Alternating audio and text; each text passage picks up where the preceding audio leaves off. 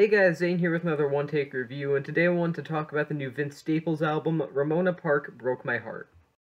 Ramona Park Broke My Heart is the latest album from rapper Vince Staples, who has had a very iffy career, I can say that much. For every big fish theory that he's done, he's done one or two other projects, be them EPs, singles, collaborations, other albums that have just been mediocre at best. As such, I was kind of excited to see where Ramona Park Broke My Heart landed on the Vince Staples scale. Generally speaking, the beats found on this album, they're, they're pretty strong, I guess.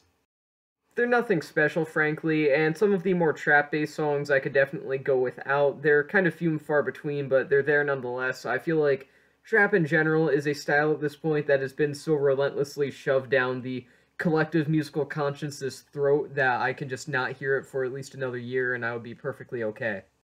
Some of the more hyphy influenced beats and more just hyphy influenced sounds are very interesting and kind of nice to hear just because they're unique, they're not trap, they're not the overdone cliches of trap, even if they are cliches in their own way.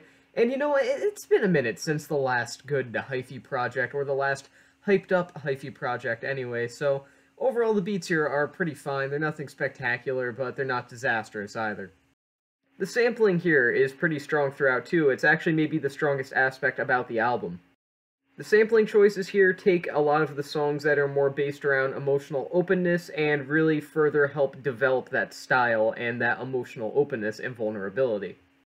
This especially rings true for songs like When Sparks Fly and Player Ways a lot of these samples are choices cut from old school soul and R&B, which obviously is a very, you know, romantic time period for the genre about a lot of uh, things that I'm not allowed to talk about on YouTube or else I get demonetized, which I'm not even monetized, so that'll be impressive. But my point is that there's a lot of sample choices here that are very solid the old school soul tinge samples really do help drive home the more emotionally raw themes here, which, again, they're kind of mixed in with a handful of less emotionally raw themes, to say the least, kind of leaning into a lot of cliches that a lot of people associate with mainstream hip hop at the moment. But when Vince Staples gets down to it and really starts talking heart to heart with the listener, the samples are what really help boost it to the next level. Now, what I think is truly interesting about Ramona Park Broke My Heart is that it manages to be simultaneously some of Vince's best music and his worst music so far. It's actually kind of incredible. The opening track, The Beach, if you just heard that and nothing else, you would probably assume it is the weakest album Vince has done so far, and it's maybe his most stiff performance so far. I mean, on that opening track, he sounds utterly lifeless if you just hop around the track list and don't listen to it front to back and you land on a song like Paper Cuts, God forbid, then you're probably just going to walk away thinking that exact same thing. However, songs like Magic with Mustard have the reverse sentiment. If you hear those songs and nothing else, you might assume this is one of Vince's better projects and that it really helps show off his personality and his solid and simple but pretty consistent flow.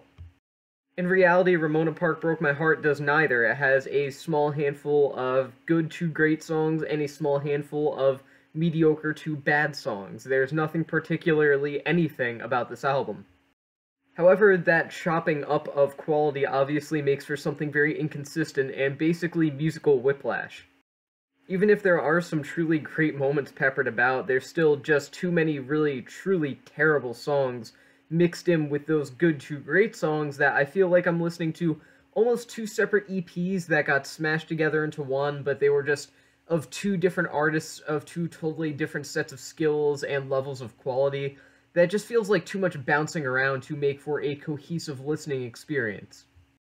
If anything, it actually makes for a very awkward listening experience that really results in the album just being better off with its best songs cherry picked, and by best songs I mean almost exclusively When Sparks Fly, because that song is absolutely amazing, and then everything else here is generally good to absolutely horrific, so just listen to When Sparks Fly if you really feel the need to just pick one song off the album.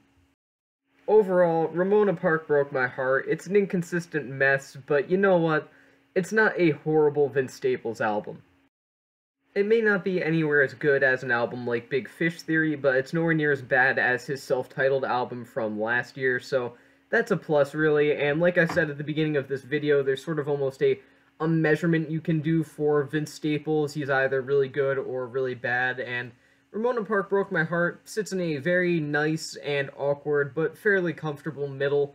It's not a difficult album to listen to. You can easily put it on as background music, but there's only a couple songs you need to hear, which is why I'm going to give it three stars out of five. It's not even that it's a decent album per se, it's just that it could have been a lot worse, and there are a couple of great songs on the album, so three stars out of five. I wouldn't. I'd just go listen to Big Fish Theory, honestly, man. Just that's the only Vince Staples you need for the most part. So, yeah, three stars. And with that being said, that's the end of this review, and I'll see you guys next one.